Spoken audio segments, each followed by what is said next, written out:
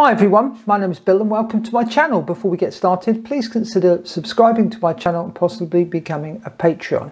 Now this video uh, has been prompted by me changing the battery on one of my aeroplanes. Now you, if you've been watching my channel, you'll see me fly the Canary Trainer and I've been flying on a 4S. Now many years ago I used to fly it on a 5S but that battery came to its end of life and I had to dispose of it.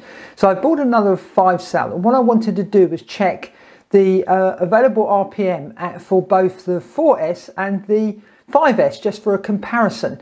So I did a, a, a what um, amp test and RPM test. So let's switch over to the video and you can see how I did this.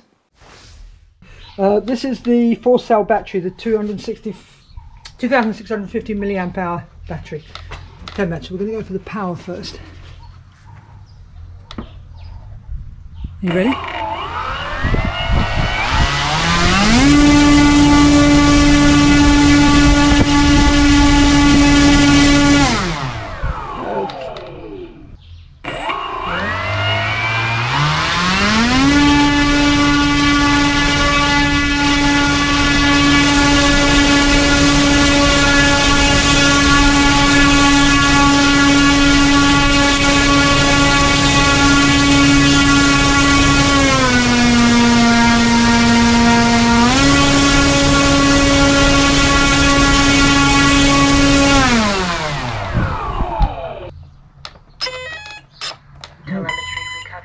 Okay, you comfortable? Yeah. I'm going to power this one up because I don't know what the hell it's going to do. So I'm going to power it up behind it. You got it? Yep. Ready? Gonna go. Got it?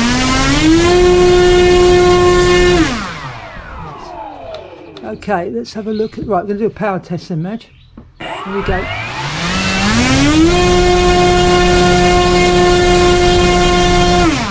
Okay, now I'm now going to get in front of this thing. Okay. Yeah. So I just want to pull up. To get out this way first.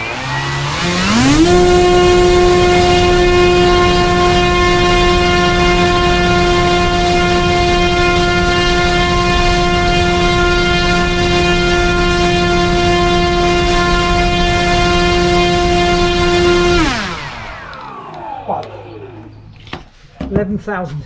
Mm. Eleven thousand revs. So it's now pulling another two and a half thousand revs a minute.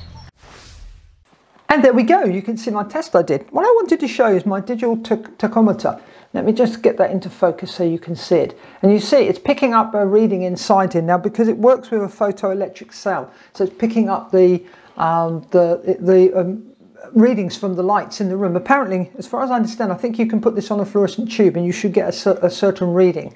So this is uh, quite useful. I'm not sure how accurate it is, but it, it, does do the job. And as you could see, on the 4 cell, I was getting uh, 8,500 revolutions per minute, and that was on an 11 by 7 propeller. And then when I put the uh, bigger 5S on, I was getting an extra 2,500 revolutions per second. And so that brought us up to 11,000. And in the video, you may have, if you hear, you can hear my friend say that she didn't think it made a lot of difference, but I could hear that the, definitely the rev, revolutions were a lot different from the first battery to the second, and I'm sure you could too.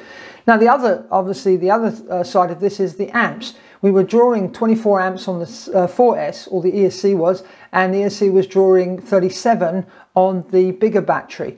But the bigger battery is physically a lot bigger too because it's a 3,800 milliamp hour battery that I'm going to be putting in that plane. So uh, it'll be interesting. I'm going to uh, hopefully go and fly this uh, Saturday, so I'll release a video of you of me flying. Hopefully, I can now do some aerobatics with it because with the 4S, there just was not a power. If I tried to do a loop, it would start to lose power, but I part halfway up the loop, and so then I had to uh, roll out.